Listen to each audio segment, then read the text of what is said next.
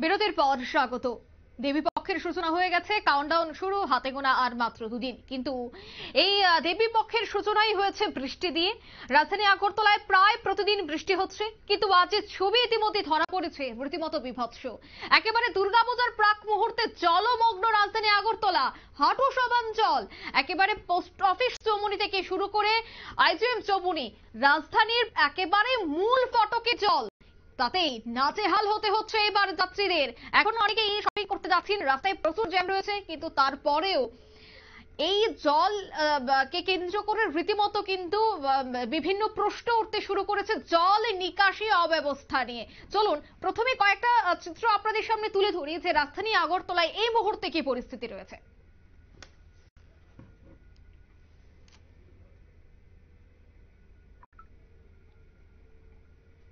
আপনারা দেখতে পাচ্ছেন সেই চিত্র।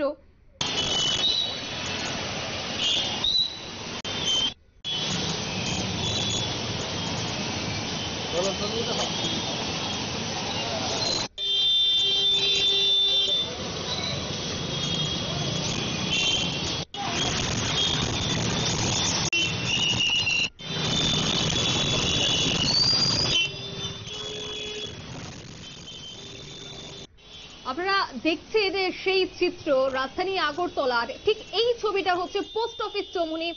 প্যারাডাইস থেকে শুরু করে পোস্ট অফিস চমুনি এবং এই যে ছবি আপনারা দেখতে পাচ্ছেন টিভি স্ক্রিনে তা হচ্ছে আইজিএম চমুনি একদিকে রয়েছে যানজট, এই বৃষ্টির কারণে দেখা গেছে প্রচুর মানুষ সকাল থেকে বাড়ি বাড়ি থেকে বেরোতে পারেনি, অফিস যেতে পারেনি, আবার অনেকেই শপিং করতে বাড়ি থেকে বেরোতে পারেনি, কিন্তু বৃষ্টি থামতেই যখন প্রত্যেকেই বেরিয়ে পড়ে, তখন কিন্তু এই সমস্যার মুখে পড়তে হয়। কারণ খানিকের জন্য আগরতলা শহর কিন্তু রীতিমতো জলমগ্ন হয়ে পড়ে। আমি সেই বিষয়ে অবশ্যই বিস্তারিত জানব। টেলিফোন লাইনে যুক্ত হয়ে গেছে বার্তা সম্পাদক দেবব্রত চক্রবর্তী। দেবব্রতদা এখনও আমি দেখলাম যে আইজিএম চৌমুনি এলাকায় পুজোর মণ্ডপ তৈরি হচ্ছে। কিন্তু তার মধ্যে বৃষ্টি এবং জলমগ্ন রাজধানী আগরতলা। কি বলবে বিষয়টা নিয়ে?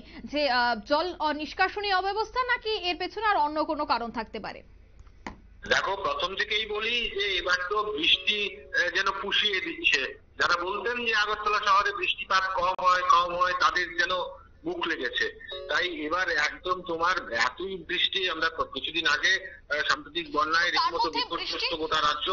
এবং আবহাওয়া দপ্তর কিন্তু বরাবরই বলে আসছে যে এবার পুজোর সময়ও বৃষ্টি থাকবে, তবে সম্ভবত দশমীর দিন বৃষ্টি নাও থাকতে পারে। এর মধ্যে তোমার চতুর্থীতে চতুর্থীতে তথা রবিবার কিন্তু দিনটা মোটামুটি ভালোই ছিল। ওই দিন মানুষ বেশ তাদের জমিয়ে বাজার করেছেন। এবং আজকেও কিন্তু সকালবেলা থেকে আকাশটা একটু মেরে মেরে ছিল, অনেকটাই গম্ভীর ছিল আকাশের মুখ। হ্যাঁ মেঘাচ্ছন্ন আকাশ। তবুও একটু একটু করে মানুষ কিন্তু বেরোনোর একটা ব্যবস্থা করছিলেন কেউ অফিস যাত্রী, কেউ স্কুল যাত্রী, কলেজ যাত্রী। তা এর মধ্যে হঠাৎ করেই বৃষ্টি নামে। এই- বৃষ্টিতে যে যে ব্যাপারটা হলো তোমার রাজধানী আগরতলায় এক কসলা বৃষ্টিতে বিভিন্ন ক্ষেত্রে তোমার জল জমে গেছে। হ্যাঁ তবে বেশিক্ষণ সেই জল দাঁড়ায়নি যে কারণে আবার তোমার এখন অবশ্য একটু রোদ উঠেছে, যে কারণে আবার স্বাভাবিক অবস্থা। তবে যে তুমি, যে কথাটা তুমি বললে, যে কেন এই জল রাস্তায় দাঁড়ি- দাঁড়াল, তো একটা কথা কি জানো? এখনও কিন্তু সেভাবে। হুম, রাস্তার যে ড্রেনগুলো এখনও কিন্তু সেভাবে পরিষ্কার হয়নি, আর ঠিক সেভাবে সাইন্টিফিক্যালি কিন্তু সেই ড্রেনগুলো তৈরি হয়নি। জল জলের যে ফ্লো তা বজায় রাখার জন্য যে পদ্ধতি গ্রহণ করা উচিত, সেটা কিন্তু শুরু থেকেই একটা পদ্ধতিটার মধ্যে একটা গন্ডগোল আছে, যে কারণে জলটা তোমার দাঁড়িয়ে যাচ্ছে। এবং সেই জল দাঁড়িয়ে যাওয়ার কারণে কিন্তু তোমার রাস্তাঘাট জলমগ্ন হয়ে পড়ছে। এবং এর মধ্যে পুজোর সময় স্বভাবতই প্রচুর পরিমাণে মানুষ রাস্তাঘাটে থাকেন, বাজার করতে যান, গাড়ি ঘোড়া প্রচণ্ড রাস্তাঘাটে এবং এই জলের কারণে পাশাপাশি তোমার যানজট। এই যানজটের ফলে সাধারণ মানুষকে কিন্তু আজ যথেষ্ট ভোগান্তির শিকার হতে হয়েছে, অঙ্কিতা। যে কারণে এই তোমার পঞ্চমী সকালে মানুষ একে স্মৃতি হয়ে থাকবে যে দু হাজার চব্বিশের পঞ্চ, শারদ উৎসবের পঞ্চমীর সকালে মানুষ একটা নাস্তা নাবুদ তোমার, বিশেষ করে আগরতলাবাসী। আর আগর- আগরতলায় তো সামান্য বৃষ্টিতেই জল জমে যায়, তবে তোমার যে পাম্পগুলো রয়েছে, সেগুলো সক্রিয় থাকলে কিন্তু বেশিক্ষণ দাঁড়ায় না। তবে পাম্পগুলো যতটুকু খবর পাওয়া গেছে পাম্পগুলো চালিয়ে দেওয়া হয়েছে এবং একটু একটু করে জল সরে যাচ্ছে। তবে সে কারণে কোনো বিঘ্ন এর পরবর্তীতে আর কোনো বিঘ্ন হওয়ার সম্ভাবনা নেই অঙ্কিতা। একদমই। ধন্যবাদ দেবব্রতদা। অর্থাৎ জল নিষ্কাশনী অব্যবস্থা। ড্রেনেজ সিস্টেমের অব্যবস্থার কারণেই অল্প বৃষ্টিতেই জলমগ্ন হলো রাজধানী আগরতলা।